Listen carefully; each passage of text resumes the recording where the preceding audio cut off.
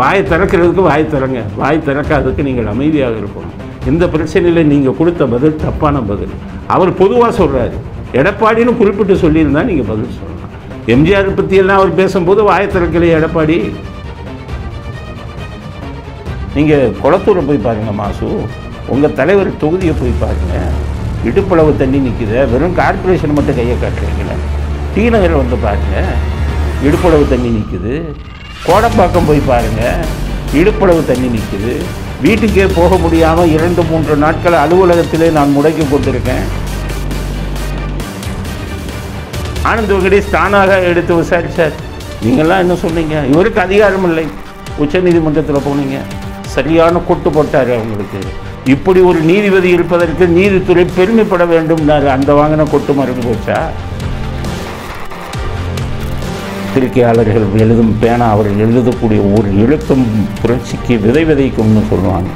அந்த பேனா கருணாநிதியான் ஆக்கிட்டார் ஸ்டாலின். அவர் பேனா வச்சா அவர் அப்பாவான் பேனா சில உள்ளே வச்சா அவங்க அப்பாவான் பேனாவில் வந்து தேரில் வந்து ஊர்வலம் வந்தால் அவங்க அப்பாவான் எல்லாமே?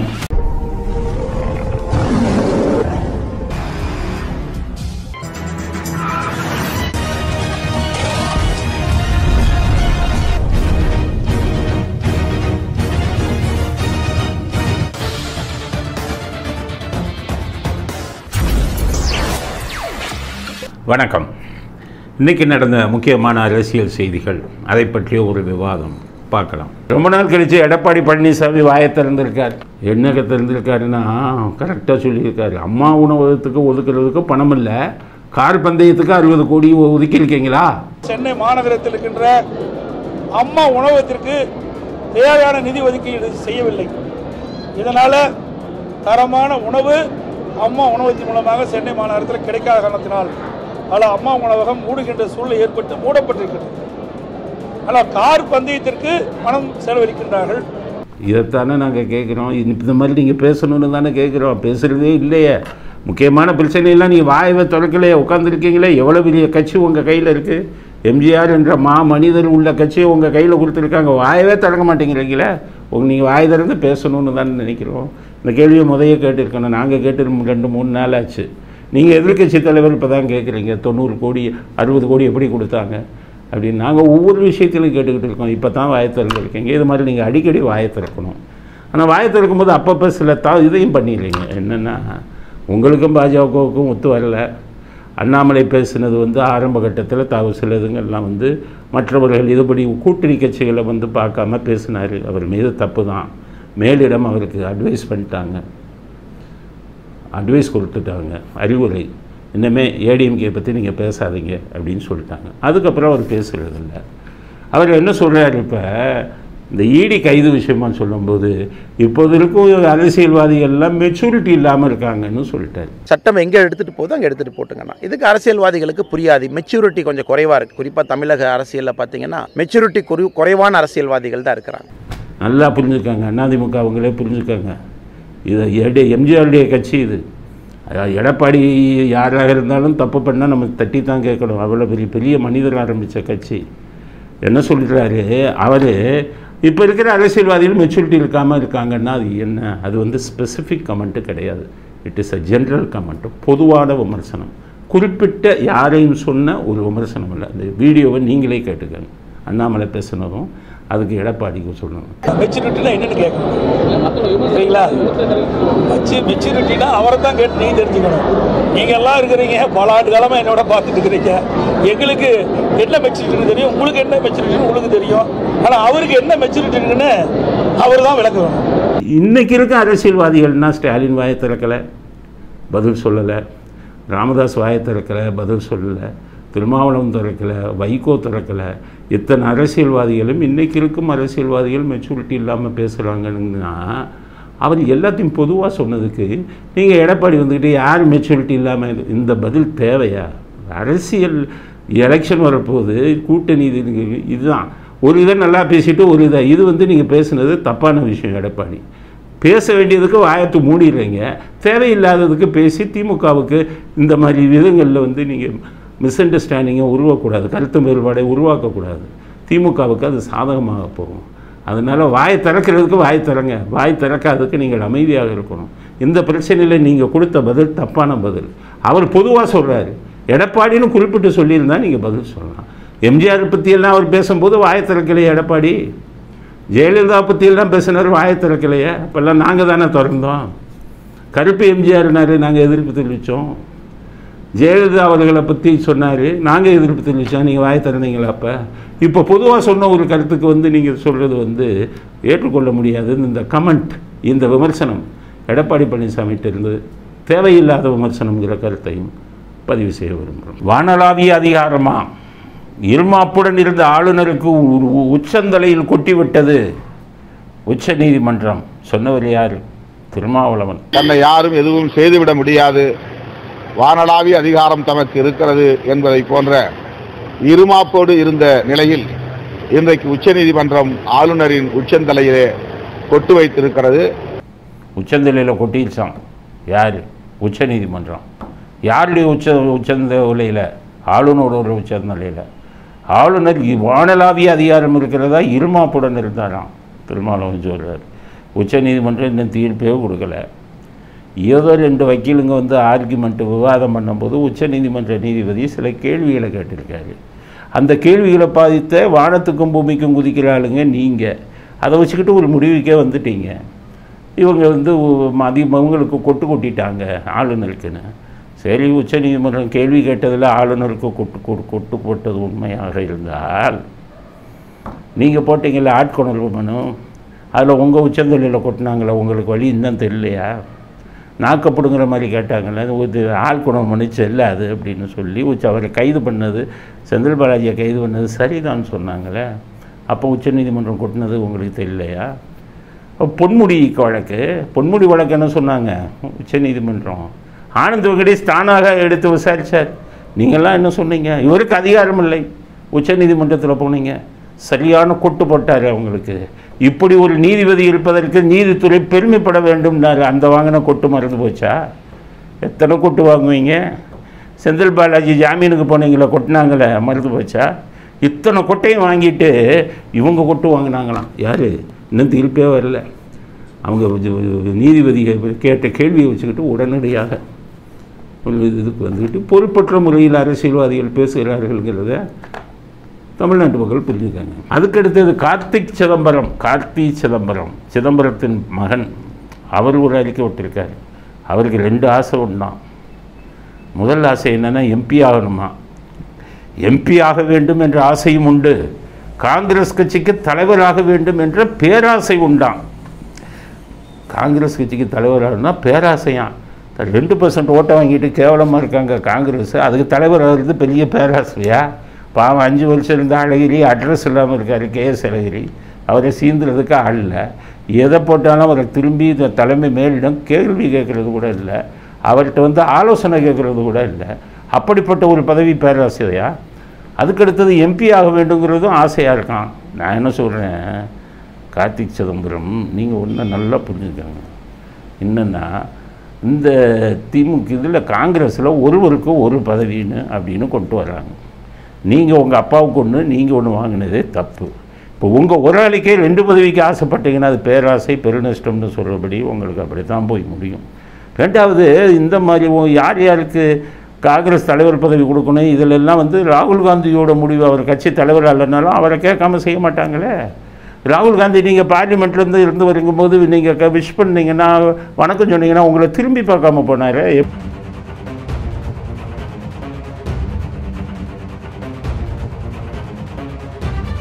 எப்படி நீங்கள் எம்பி பதவி சாத்தியம்? இந்த தடவை.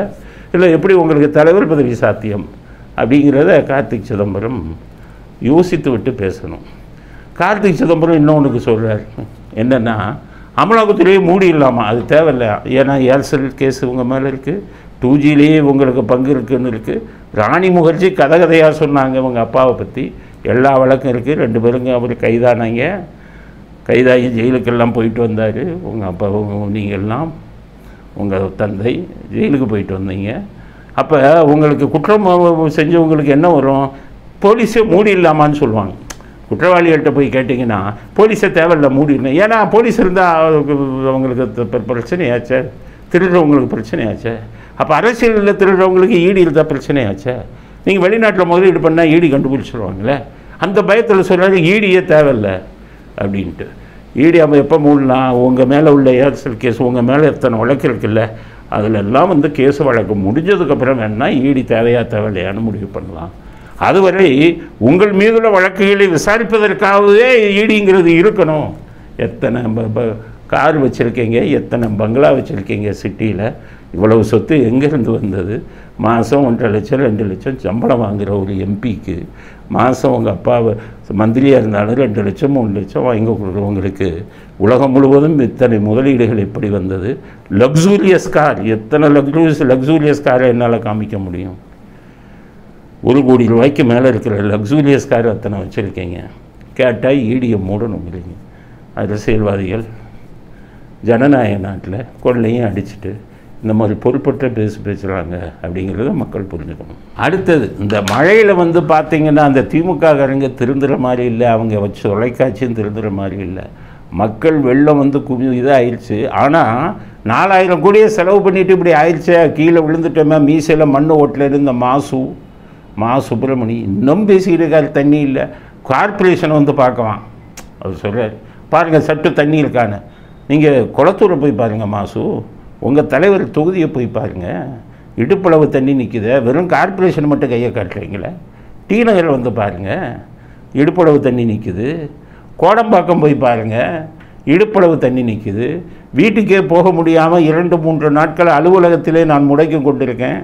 போட்ட சட்டையவே ரெண்டு நாளும் போட்டுக்கிட்டு இருக்கேன். மூணு நாளாக என்னன்னு கேட்டீங்கன்னா வெளியிலே போக முடியல. எங்கள் வீடுகளுக்கே போக முடியல. வீடுக்குள்ளே புழுவான் தண்ணி புகுந்துருச்சு. நாங்களே உதாரணம் எவ்வளவு தண்ணி வந்ததுன்னு. இதெல்லாம் வந்துக்கிட்டு அதெல்லாம் தண்ணி இல்லை தண்ணி இல்லை நீங்களும் ஜேர்வாவும் பேசுனீங்கன்னா உங்கள் ரெண்டு பேர்த்தையும் முட்டாள்னு தானே மக்கள் நினைப்பாங்க. ஒத்துக்கங்க நாலாயிரம் கோடியை சுவாகா பண்ணிட்டீங்க. சரி வெள்ளம் வந்துச்சு. அடுத்து என்ன? அடுத்து எத்தனாயிரம் கோடி அவங்க சுருட்டலாங்கிறதுக்கு திட்டம் போடுங்க. அதை விட்டுக்கிட்டு ஜனங்களை முட்டாளாக்குற மாதிரி வெள்ளம் வரல. இது வரல. ரெண்டாயிரத்தி பதினஞ்சில் பயங்கர வெள்ளம் வந்ததான் ஜெயலலிதா முன்னெச்சரிக்கைன்னு எடுக்கல. அப்போ கூட அவ்வளோ கஷ்டப்படல நானும் இப்போ சென்னையில் தானே இருந்தோம். அப்போ கூட தண்ணி வெளியில் இருந்தது. நிவாரண உதவிகள்லாம் நல்லபடி வந்தது. நீங்கள் தானே சொன்னீங்க? ஸ்மார்ட் சிட்டின்னு வச்சு இந்த அதிமுக ஆட்சியில் வாய்க்கால்கள்லாம் அடைச்சி விட்டுட்டாங்கன்னு. ஏன் அந்த வாய்க்காலை எல்லாம் திருப்பி உடைச்சி தண்ணி வெளியில் போகிறதுக்கு தானே நாலாயிரம் கோடி வாங்குனீங்க அரசாங்கத்திட்ட இருந்து? இப்போ இப்போவும் அந்த டி நகர் கோடம்பாக்கம் அசோக் அசோக் நகர்லாம் ஏன் தண்ணி நிற்கிது இப்போ புரிஞ்சுக்கோங்க. செந்த தப்பை ஒத்துக்கோங்க. தப்பு கே நேருகையில் போய் எல்லாம் கான்ட்ராக்டை விட்டிங்கன்னா அவங்கெல்லாம் மழை முழுங்கி ம- மலை முழுங்கி மகாதேவன் அவங்கெல்லாம் எத்தனை ஊழலை பார்த்தவங்க. அதனால் ஒத்துக்கிட்டு இன்னொரு இன்னொரு ஒரு ரெண்டரை வருஷம் உங்களுக்கு ஆட்சி இருக்குது ஆண்டவன் வந்து தலையெழுத்து போட்டான். ரெண்டரை வருஷமாச்சும் மக்களை காப்பாற்ற பண்ணுங்க. காப்பாற்றுவதற்கு முயற்சி செய்யுங்க. அதை விட்டுட்டு நீங்களும் சேகர்பாபும் டிவியில் போயிட்டு தண்ணி இல்லை தண்ணி இல்லைன்னு ஊரை ஏமாத்தாதீங்க. அப்படிங்கிறது தான் நம்முடைய கருத்து. இவருக்கு உடல்நிலை சரியில்லையா? அறுபதாயிரம் கோடி துரைமுருகனுக்கு உடல்நிலை சரியில்லை. துச்சாதனன் துரைமுருகன் அவர்களுக்கு உடல்நிலை சரியில்லை. எம்ஜிஆரின் முதுகில் நம்பி து- முதுகில் தீ முதுகில் குத்தி நம்பிக்கை துரோகம் செய்த துரைமுருகனுக்கு உடல்நிலை சரியில்லையா ஸ்டாலின் நேராக போய் பார்த்துருக்காரு உடல்நிலை சரியில்லைன்னா? ஆனால் ஒரு குத்துக்கல் மாதிரி நாங்கள் நினச்ச உடல்நிலை சரியில்லைன்னு ஆஸ்பத்திரியில் படுத்து கிடப்பார் வெண்டிலேட்டர் வச்சுருப்பாங்க குளுக்கோஸ் குழாய் இருக்கும் போய் பார்க்குறாருன்னா அவர் சோஃபாவில் அப்படி கை மேலே வச்சுக்கிட்டு இருக்காரு அவருக்கு உடல்நிலை சரியில்லைன்னு ஸ்டாலின் போய் பார்த்துட்டு வந்திருக்காரு. சரி உடல்நிலை சரியில்லை. உடல்நிலை சரியில்லாத போதே நாலாயிரம் கோடி அடிச்சிருக்காரு உடல்நிலை சரியில்லாத போதே கட்சி சொன்னபடி அறுபதாயிரம் கோடி அடிச்சிருக்காரு பழையபடி அவங்க தலைவர் இருக்கும்போது இருந்த மாதிரி உடல்நிலை இருந்திருந்தால் லட்சக்கணக்கான கோடி அடிச்சிருப்பார் பறிச்சிருப்பார் இருக்க அதனால் ஏதோ உடல்நிலை சரியில்லாமல் வச்சு கடவுள் காப்பாற்றிருக்கான் தமிழ்நாட்டை அப்படின்னு தான் சொல்லணும். ஆனால் அன்னைக்கு நடக்கக்கூடிய அரசியல் விஷயங்கள் எல்லாம் பார்க்கும்போது தப்பு செய்கிற அரசியல்வாதிகளுக்கு மக்களின் பணத்தை கொள்ளையடிக்கக்கூடிய அரசியல்வாதிகளுக்கு தண்டனை கிடைக்கிறதில்ல. நீதிமன்றத்திலும் தண்டனை கிடைக்கிறதில்ல. அந்த பார்த்தீங்களா பொன்முடி கேஸில் கேஸையும் முடிச்சுட்டாங்க. அனிதா ராதாகிருஷ்ணனில் கேஸை முடிக்கிறதுக்கு சரி நடக்குது. கே. கே. சார் தங்கம் தினசும் முடிச்சுட்டாங்க. அப்போ நீதிமன்றங்கள் தண்டனை கொடுக்கறதுங்கிறது அரசியல்வாதிகளுக்கும் பணக்காரர்களுக்கும் தப்பிச்சிடுறாங்களே. அப்போ யார்கிட்ட இவர்களுக்கு தண்டனை கிடைக்கணும்? இந்த பாவம் பண்ணுறவங்களுக்கு இறைவன்கிட்ட தான் தண்டனை கிடைக்கணும். இறைவன் என்ன பண்ணணும்? கொள்ளை அடிக்கிற அரசியல்வாதிகள்லாம் உடலில் உடலில் எதையாச்சும் ஒரு இதை கொண்டு வந்துடணும். அப்போ தான் கடவுளை நம்புவாங்க. கொள்ளையடிக்கிற அரசியல்வாதிகளுக்கு இது அபாயமணி இறைவன் கையில் இருக்க. அடிங்க. கொள்ளையடிக்கிற அரசியல்வாதி எல்லாம் இது இது கிட்னி போயிடணும். ஈரல் அவுட் ஆயிடணும். லங்ஸ் போயிடணும். மூச்சு விடவே கூட முடியாது இருக்கணும். அதுதான் தண்டனை. அந்த தண்டனையை இறைவனால் தான் கொடுக்கணும். இறைவன் தான் கொடுக்க முடியும். இப்படி மனசாட்சி இல்லாமல் ஏதோ ஒரு ஐம்பது கோடி நூறு கோடின்னு எலெக்ஷன் செலவுக்கு அடிக்கிறாங்கன்னா ஒரு பத்து பர்சன்ட் இருபது பர்சன்ட் அடிக்கிறாங்க. தொண்ணூத்தொம்பது பர்சன்ட்டை கொள்ளையடிச்சா இவர்களுக்கு தண்டனை கொடுக்கக்கூடிய ஒரே அதிகாரம் ஒரே சக்தி இறைவனுக்கு தான் உண்டு. சபிக்கு எல்லாத்தையும் இறைவன் சபிக்கட்டும். எல்லா அரசியல் லஞ்சம் அதாவது மக்கள் ஏழை மக்களின் பணத்தை அடித்து கோடி கோடியாக கொள்ளையடிக்கும் அரசியல்வாதிகள் அனைவரையும் இறைவன் சபிக்கட்டும். உடல்நல உடல் உடல்நிலையை பாதிக்க வச்சா தான் அவர்களுக்கு தண்டனை கிடைக்கும். அப்படிங்கிறது தான். பாவம். விஜயகாந்த் அவர் கஷ்டப்பட்டுக்கிட்டு இருக்காரு யாரையில் வச்சோம் ஒரு நாள் கூட ஆட்சியில் இல்லை. இந்த கூட்டங்கள் மாதிரி கொள்ளையடிக்கலை. இவர்களுக்கு கொள்ளையடிக்கும் அத்தனை எம்எல்ஏ அத்தனை எம்பி அத்தனை மந்திரிகள் முதலமைச்சர் அத்தனை பேரும் ஆஸ்பத்திரியில் தான் போய் படுக்கணும் நிரந்தரமாக. அதுதான் இறைவன் கொடுக்கக்கூடிய தண்டனை. துரைமுருகனுக்கு இப்போ நீங்கள் கொடுத்து கொடுத்துருக்கிறது கூட சாதாரண தண்டனை தான். இது வந்து அவர்கள் அடிக்கும் கொள்ளைக்கு ஏதாவது உடல்நிலை சரியில்லாமல் போ போகிறவங்களுக்கு என்ன சொல்லுவாங்கன்னா நீங்கள் சாப்பிட்ற சாப்பாடு உழைத்து வாங்குறீங்கல்ல அந்த எந்த நீங்கள் உழைக்கிற பணத்தை இருந்து சாப்பாடு வாங்கி சாப்பிட்றீங்க அந்த உழைக்கும் பணம் சபிக்கப்பட்ட பணமாக இருந்தால் நோய் வந்துடும் சொல்லுவாங்க சாஸ்திரங்களில். நேர்மையாக நீங்கள் சம்பாதிச்ச பணத்தை சாப்பிட்டேன்னா உடலில் நோய் வராதும்பாங்க. அவ்வளோ வேலும் கொள்ளையடிக்கிறான். அதில் வச்சு தான் குடும்பம் நடத்துகிறான் சாப்பிட்றான். அவ்வளோ பேத்துக்கும் இறைவன் சாபம் வரட்டும். அவ்வளோ பேரும் ஆஸ்பத்திரியில் போய் படுக்கட்டும். தீராத நோய் வந்து அவர்கள் தாங்கள் செய்த தவறை மக்கள் பணத்தை அப்படி கொள்ளையடித்ததுக்கு இறைவன் கொடுத்த தண்டனை. சார் இவருக்கு பார்த்தீங்கல்ல செந்தில் பாலாஜி எவ்வளோ நல்லா இருந்தார். வாக்கிங் போயிட்டு இருந்தார். இன்றைக்கி நடக்க முடியலை. நாற்பத்தி ஏழு வயசு தான் ஆகுது அடித்த கொள்ளைக்கு இறைவன் கொடுத்த தண்டனை. எல்லா அரசியல்வாதிகளும் கொள்ளையடிக்கும் அத்தனை அரசியல்வாதிகளுக்கும் இறைவன் இது மாதிரி தண்டனை கொடுக்கட்டும். இறை சக்தி ஒன்றுக்கு தான் மனித சக்திகள் மேலே எங்களுக்கு இருந்த நம்பிக்கை போயிடுச்சு.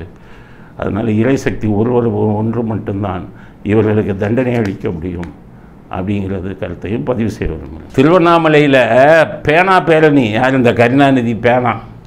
பேனான்னு போய் இல்லை கருணாநிதி கருணாநிதி படத்தை வச்சுட்டு ஊரில் வாங்கப்பா. ஏதோ அவருக்கு வைக்கலைங்கன்னு விட்டுலாம் ஒரு பேனாவை வச்சுக்கிட்டு அது கருணாநிதியான் எவ்வளவு கேவலமான விஷயம். பேனாங்கிறது எவ்வளவு பெரிய ஒரு பேனாவால் ஒரு நாட்டில் புரட்சியவே ஏற்படுத்த முடியும். அதுதான் பேனாவின் மகிமை. அதைத்தான் சொல்லுவாங்க. பத்திரிகையாளர்கள் எழுதும் பேனா அவர்கள் எழுதக்கூடிய ஒரு எழுத்தும் புரட்சிக்கு விதை விதைக்கும்னு சொல்லுவாங்க. அந்த பேனா கருணாநிதியான் ஆக்கிட்டார் ஸ்டாலின். அவர் பேனா வச்சா அவர் அப்பாவான் பேனாவை வச்சால உள்ளே வச்சா அவங்க அப்பாவான் பேனாவில் வந்து தேரில் வந்து ஊர்வலம் வந்தால் அவங்க அப்பாவான் எல்லாமே. ஸ்டாலின் சொல்லிட்டார். அந்த பேனாவுக்கு ஊர்வலம் வச்சுக்கிட்டு இருக்காங்க. திருவண்ணாமலைக்கு வந்திருக்கு. ரெண்டு மணி நேரம் பள்ளி குழந்தைகளை காக்க வச்சுருக்காங்க. தேவையா? இந்த பேனாவுக்காக பச்சிளம் குழந்தைகள் ரெண்டு மணி நேரம் காக்க வைக்கணுமா? இதே இதில் திருவண்ணாமலையில் இப்போ மாதம் மாதம் ஒவ்வொரு பௌர்ணமிக்கும் கிரிவலம்னு ஒன்று வருது. லட்சக்கணக்கான பேர் வராங்க அதில். அன்னைக்கு கூட பத்து நிமிஷம் கூட யாரையும் காக்க வைக்கதில்லை. காக்க வைத்ததில்லை பொதுமக்களை. நிற்க வைத்ததில்லை.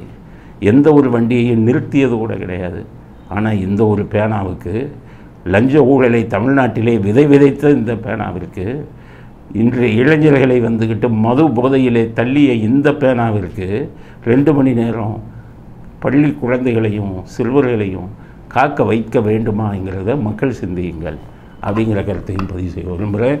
நன்றி வணக்கம். ஜெயந்த்.